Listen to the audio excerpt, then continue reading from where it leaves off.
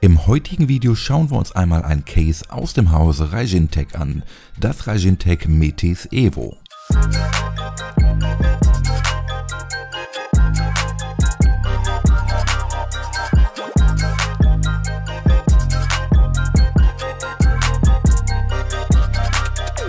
In diesem Gehäuse verwenden wir ein recht günstiges, trotz alledem sehr gut ausgestattetes Mainboard aus dem Hause ASRock, das ASRock B450 Gaming ITX AC. Ein Mainboard mit einer Top-Ausstattung wie einem USB-C 3.1 Anschluss, Platz für eine M.2 auf der Rückseite, ein Addressable RGB Anschluss sowie ein ALC 1220 Soundchip und die Möglichkeit zwei WLAN-Antennen anzuschließen.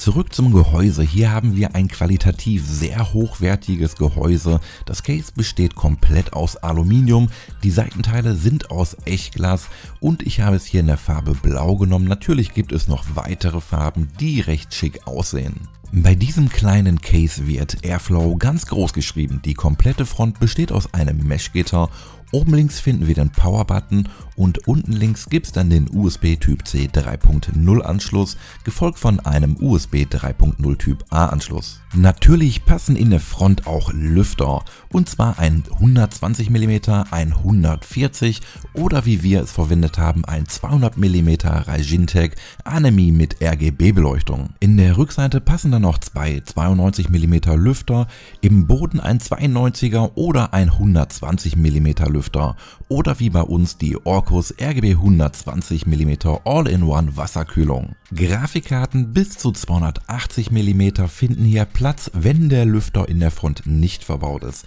Sollte der Lüfter in der Front verbaut sein, passen hier Grafikkarten bis einer Maximallänge von 220 mm. Wollt ihr das Seitenteil verwenden, dürfen CPU-Kühler eine Länge von 135 mm nicht überschreiten.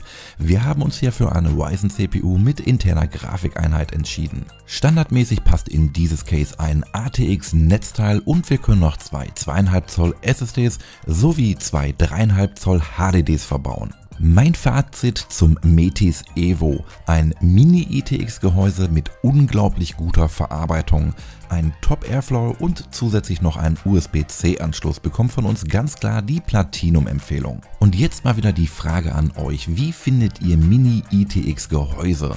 Ist das Ganze für euch wirklich zu klein oder habt ihr Lust, dass wir vielleicht mal etwas in einem noch kleineren Gehäuse bauen? Links findet ihr wie immer unten in der Videobeschreibung. Leute, macht's gut, bis zum nächsten Video, ciao!